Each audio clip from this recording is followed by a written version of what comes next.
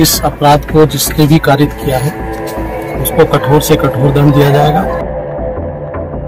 मैं और डीएम साहब मौके पर हैं और घटना से मुआयना किया गया है।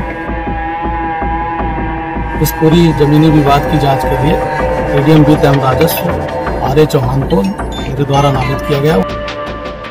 उत्तर प्रदेश के जौनपुर ज़िले में 16 साल के ताइक्वांडो खिलाड़ी की पुरानी रंजिश के चलते निर्मम हत्या कर दी गई। हत्यारों ने उसका सिर तलवार से काट कर अलग कर दिया। जानकारी के मुताबिक जब बुधवार सुबह ताइक्वांडो खिलाड़ी अपने घर के बाहर ब्रश कर रहा था, तभी पड़ोसी युवक तलवार लेकर पहुँच गया, जिसे देख खिलाड़ी बचने के लिए भागा तो आरोपी उसके पीछे दौड़ा और तलवार के एक वार से उसका सिर अलग कर दिया। वहीं बेटे की चीख सुनकर माँ दौड़ती हुई बाहर आई तो बेटे का ज़मीन पर इस हाल में पड़ा देख बेहोश हो गई। दरअसल ये दर्दनाक वारदात जौनपुर ज़िले के गौरा बादशाहपुर थाना के कबीरुद्दीनपुर गाँव की है, जहाँ पुरानी रंजिश और ज़मीन के विवाद के चलते पड़ोसी ने 16 साल के ताइक्वांडो खिलाड़ी अनुराग यादव की निर्मम हत्या कर दी। इस निर्मम हत्या के बाद पूरे इलाके में हड़कंप मच गया है। वही घटना से गुस्साए लोग सड़क पर उतर आए और जमकर प्रदर्शन किया। फ़िलहाल इलाके में बढ़ते मामले को देखते हुए कई थानों की फोर्स मौके पर तैनात है। जानकारी के मुताबिक अनुराग यादव, घर का इकलौता बेटा था। उसकी पाँच बहनें हैं। वह राज इंटर कॉलेज में बारहवीं में पढ़ता था। अनुराग ने ताइक्वांडो में हाल ही में नोएडा में हुई ओपन नेशनल में सिल्वर मेडल जीता था। इसके अलावा इंडो नेपाल इंटरनेशनल ताइक्वांडो प्रतियोगिता में कांस्य पदक भी जीता था।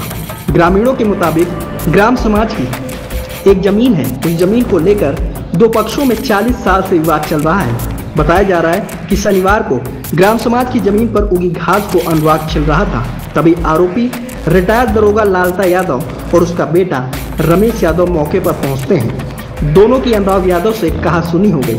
हालाँकि उस समय पड़ोसियों ने किसी तरह मामला शांत करवा दिया।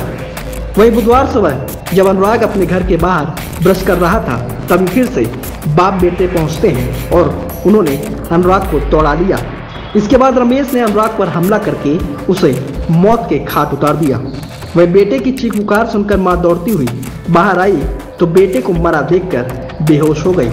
कुछ पल बाद होश आया तो बेटे का सिर सीने से लगाकर रोती रही। फ़िलहाल पुलिस ने दोनों आरोपियों, रिटायर्ड दरोगा और उसके बेटे को गिरफ़्तार कर लिया है। इस घटना के बाद पूरे इलाके में हड़कंप मच गया। गाँव में तनाव बढ़ गया। गुस्साए ग्रामीण सड़कों पर उतर आए और प्रदर्शन करने लगे। ऐसे में गाँव में बढ़ता तनाव देख कई थानों की फोर्स मौके पर तैनात की गई है। रमेश और लालता इन पक्ष के द्वारा जो जिसके जो जिनसे विवाद था उनके ऊपर हमला करके उसकी हत्या की गई है। इसमें फ़िलहाल मैं और डीएम साहब मौके पर हैं और घटना स्थल का मुआयना किया गया है और कुछ जो अभियुक्त हैं उनको हिरासत में लेकर के पूछताछ की जा रही है और आगे कार्रवाई इसमें विधि कार्रवाई की जा रही है। सबके जिस हथियार से हत्या की गई वो बरामद किए गए हैं? हाँ जी। जिसने हथियार से हत्या हाँ वो जो उसमें दबिश दी गई है दबिश में जो बरामदगी की गई है उसके बाद में बाद में सूचना दी जाएगी इस अपराध को जिसने भी कारित किया है उसको कठोर से कठोर दंड दिया जाएगा।